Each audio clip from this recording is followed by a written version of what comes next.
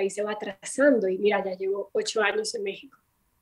¿Y tú crees que es más difícil sobresalir, por ejemplo, en México, en, o sea, en el tema de las actrices así, o que en Colombia, o es lo mismo? O sea, en todos lados es igual de complicado. O en Estados Unidos, a lo mejor también, que veo que mucha gente dice, no, pues irse para Estados Unidos y así.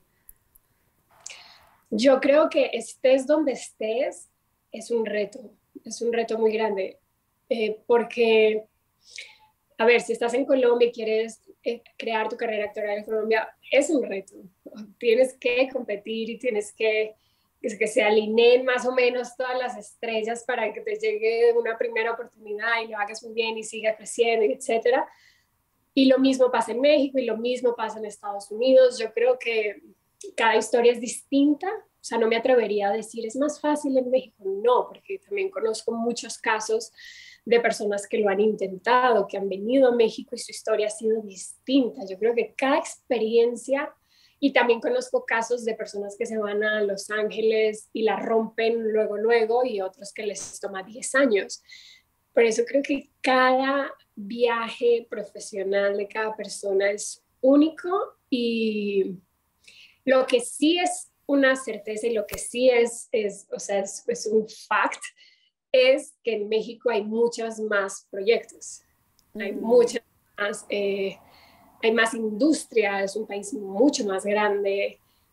Y, y, claro que hay más proyectos, pero también hay muchísimo, muchísimos más actores y actrices. O sea, claro, hay mucha cosa pasando, pero también somos muchísimos más. Entonces, creo que cada país, cada mercado tiene sus retos y son igual de complejos y donde tú estés eventualmente ahí vas a mover tu energía y ahí lo vas a lograr.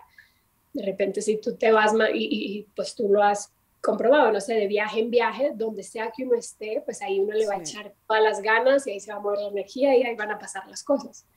Claro. Sí, yo creo que también cuando, por ejemplo, en mi caso de que depende con la energía que vayas o la positividad también se dan o no se dan las cosas. O sea, yo veo muchas esposas también que de repente dicen, ay no, vivir aquí horroroso y tal, y yo digo, bueno, a mí me fue muy bien, o sea, yo fui feliz ahí, me encantó y así, pero también es como que con la disposición, la energía, o sea, qué tan positiva vayas para, para poder lograr las cosas, ¿no? Sí, y entender que es como las relaciones de personas, no todos van a tener la misma experiencia contigo, cada quien va a tener su opinión. Entonces, cada quien va a tener una opinión acerca de Ciudad de México dependiendo de cómo fue su experiencia personal con Ciudad de México. Por eso, sí, cada viaje es muy único. Oye, veo que tienes, o sea, un montón de trayectoria, una trayectoria muy larga, este, y, y eres chiquita porque tienes 32, ¿no? Gracias por lo de chiquita. Yo Eres chiquita porque yo tengo 34, entonces somos chiquitas. Ya sé, yo me siento de 20. Eh, Totalmente. No igual. que tenga 32. Cuando estaba chiquita y veía a alguien de 32, pues ya, señora, ya era como esta señora de 32 y ahora es no, ¿por qué? A veces les digo a mis amigas, creo que necesito madurar un poquito más porque veo señoras que, o sea, otras mamás de que ya como más serias y tal, y yo como que eso todavía no, no, no se me da. Sí, mi teoría es que el tiempo no corre igual a como corría antes. Ahorita va muy rápido, yo creo que ya un día no dura un día. Pero, por ejemplo, ¿Cómo haces para, para preparar cada uno de tus personajes? O sea, porque supongo que te los dan y tienes poco tiempo para prepararlos, ya han sido distintos. Pues desde el casting ya empiezo como a investigar, a crear, bueno, de dónde viene este personaje, dónde vive, culturalmente, eh, que, cuáles son las influencias en la vida de este personaje, no sé, también la información que me dan los, los guionistas, las guionistas el director o la directora, cuál va a ser como la próxima. Eh, te dan mucha información, la verdad, la mayoría de personajes me han dado mucha información y también me han permitido hacer como mis propias propuestas. Y pues también dependiendo del guion y de lo que estás leyendo, de la historia, también puedes concluir muchas cosas y como enriquecer al personaje. ¿Y cuál dirías que... Ah,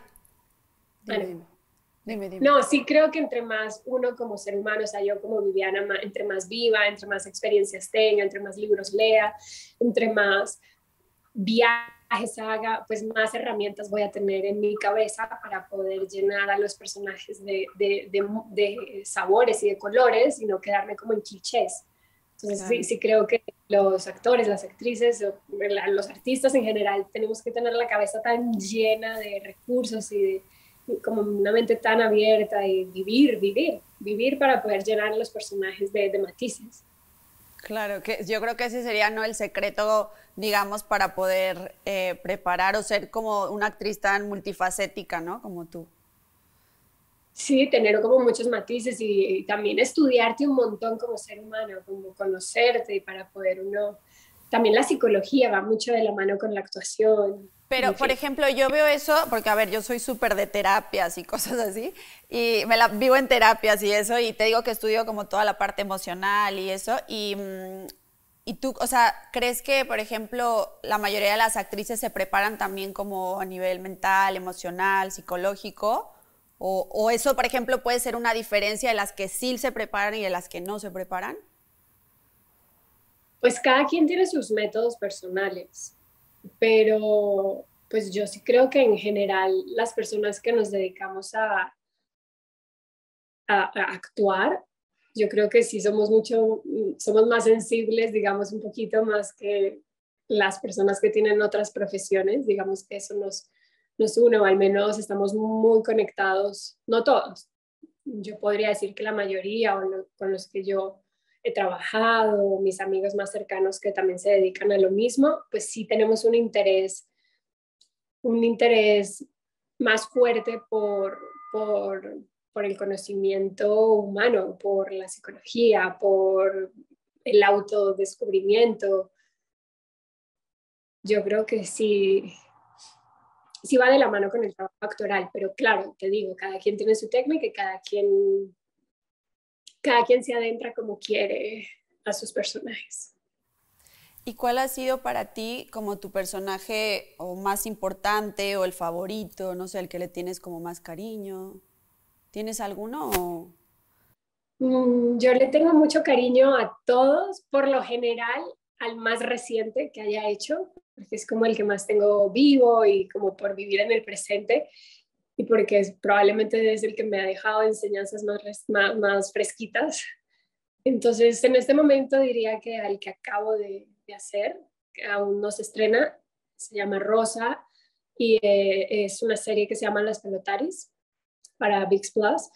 Y yo creo que ese es el, el, el más reciente y creo que el que más me ha gustado hasta ahora.